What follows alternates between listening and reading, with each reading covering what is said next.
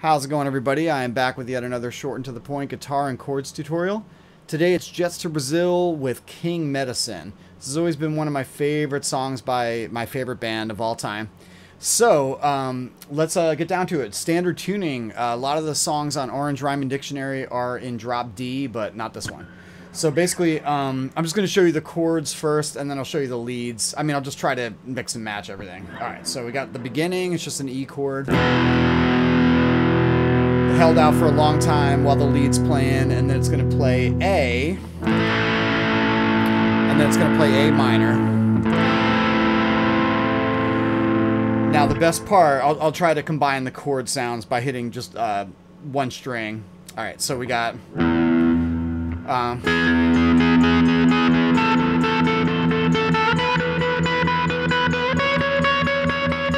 and then when it goes to the A part, you're going to do this um, A major and then A minor thing. So, um, you know, again, the intro.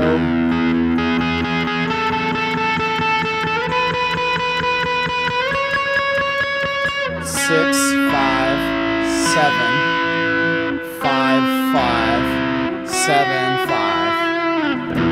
Okay, so now we're leading into the verse. And let me know if this, if any of this is confusing. I could do a follow-up video, uh, going extending the length of the video, but I'm trying to, you know, keep all these videos short so as to not waste uh, any of your time. All right, so um, when it leads into the verse, it's going to go. But instead of doing all this on one string, which is what I uh, did before, you're going to do this cool dissonant thing that Blake Schwarzenbach does so well and, you know, with his genius.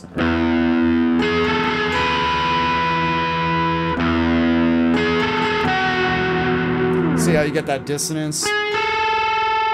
Just like um, Morning New Disease does in the beginning. So this is the G string and the B string.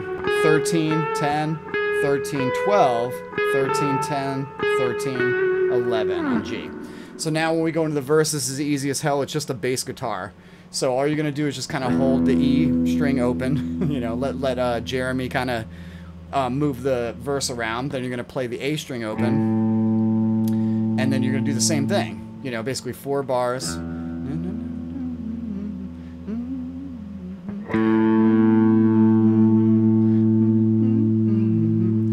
You're going to go into this part again. Two times. Into verse two. Um, again, just hold the A, or hold the low E string. And then hit the A string. Now the second time this passes, you're going to do some cool licks. So you're to do the same dissonant thing. This is going to be the G string and B string. This is going to be 8 and 5. Um,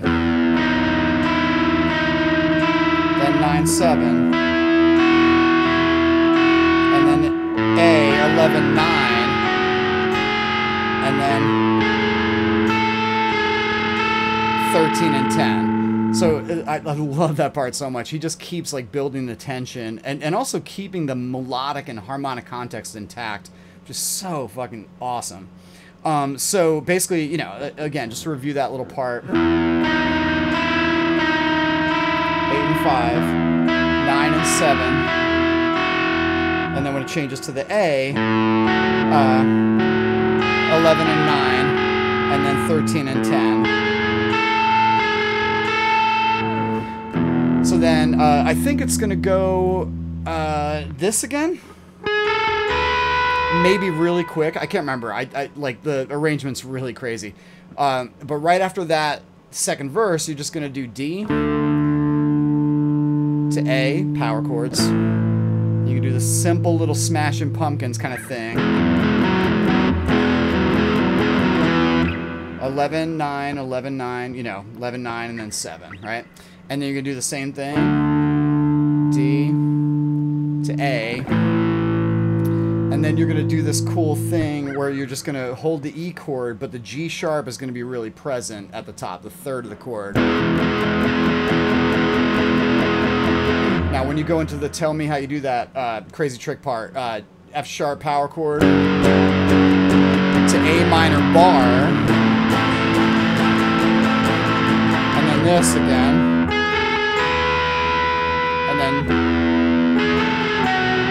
now we're in verse three. Now here's the awesomest part because he's doing this crazy natural harmonic thing.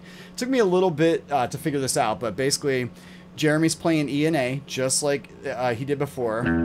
You know, but this time you're gonna hit um, the fourth fret of the D string with a natural harmonic, which is an F sharp note.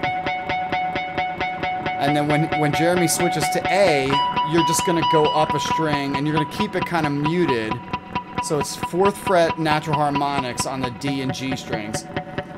It just makes sense because it's an F sharp tonality and then that's a B tonality or a B harmonic that's going against the E and A parts. So if you hear it with the with the drone, check it out. And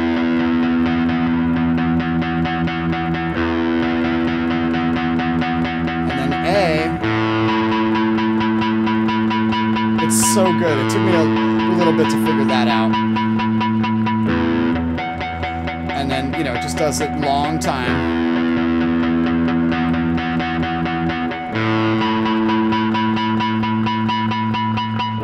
Blake might be moving around, you know, doing that a little bit. I'm not sure, but that definitely is a solid thing that happens. And then uh, after that, you're going to do this riff just once. And then right into the D, to the A, to the Smashing Pumpkins thing, right?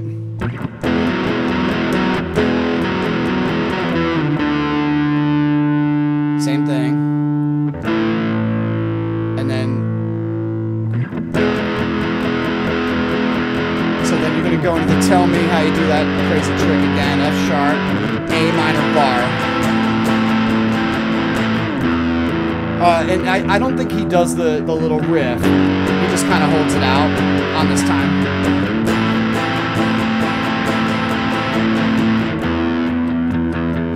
And then one more DA move to the Smashing Pumpkins thing.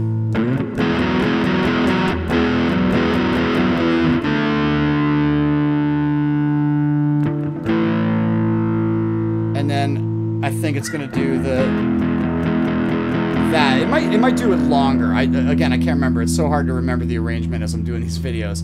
But basically, uh, this is how the song's going to end. So when it goes into the this little part, you're going to do G sharp octaves.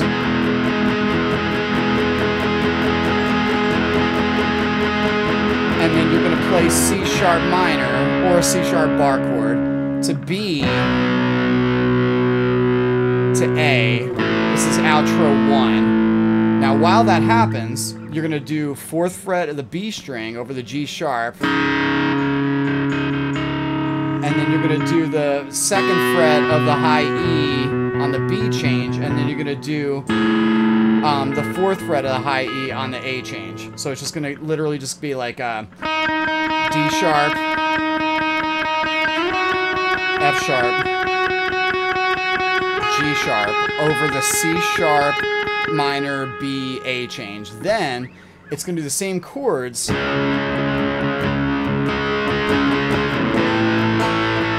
it's a little different here, different order. C sharp minor A, F sharp minor A. It's going to go two times around, or the power chords is fine. So I know this video is getting a lot longer than I normally do, but it's Jets to Brazil. So while that's playing instrumental stuff, you're going to be doing B and C sharp octave slides. First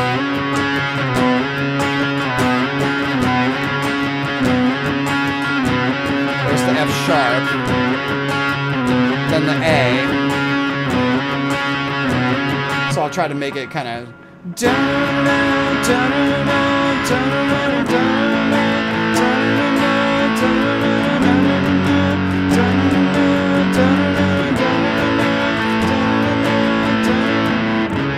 then, uh, as it winds down, same exact chords. The guitar is going to come in and out. It's going to be four times of Blake singing over those chords. It, it's like mellow, I think, the first two times. You're following along. You could hear him sing, you know. And then gets a little harder here.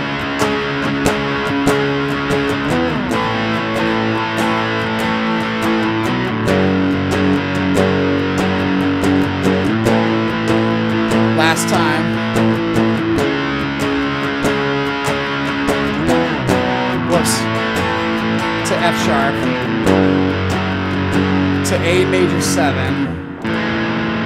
Loves to do that chord. That's the chord at the end of, uh, or in Sweet Avenue as well. It's basically just an A power chord.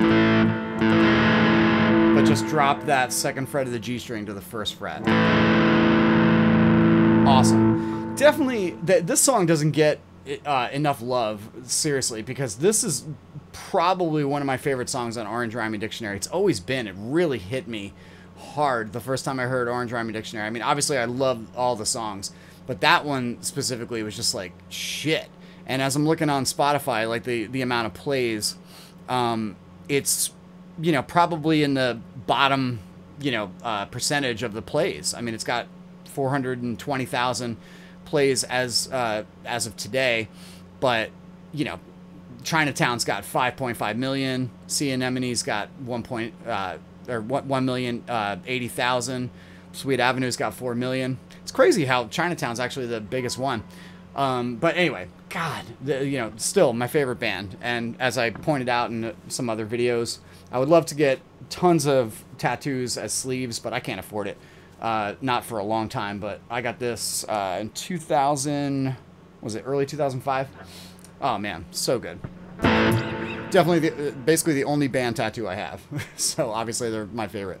If you found this video helpful, I really appreciate a like, a thumbs up. Um, you know, you know how it works. Please subscribe if you want to see more content like this. I'm happy to do a lot more videos like this. Every day I'm trying to do a guitar tutorial, uh, you know, to, just to save you time looking for tab, trying to find, you know, I try to do a lot of indie songs that aren't easy to figure out or, you know, just, um, just they're awesome. they don't really yeah, get enough love. So go listen to this uh, song and this album if you've never heard it or if you've never heard of the band before, but you like the riffs. Awesome stuff. Anyway, I'm babbling. I'm a little tired. It's like uh, 2 in the morning. Um, but uh, yeah, I, I'm trying to remember to say this at the end of each tutorial. Uh, I do lessons over Zoom. Um, I am really cheap. I have been doing this for a, a, number of years. I have a lot of satisfied parents, students, uh, testimonials, referrals, whatever you need. Um, I can do lessons worldwide, doesn't matter. Um, the only language I speak is English, sadly. Yes, I am American and dumb. No. but I'm, I'm one of the good Americans, I, I promise. Um, anyway, yeah. so if you're a Jets to Brazil fan, if you love indie rock, um, I am your indie rock teacher. So let me know. Um, reach out and hope we can connect up. So again, uh, thanks so much for watching. I really appreciate it. All the love to every Jets to Brazil fan out there, Jawbreaker fan, any fan of Blake is a friend of mine.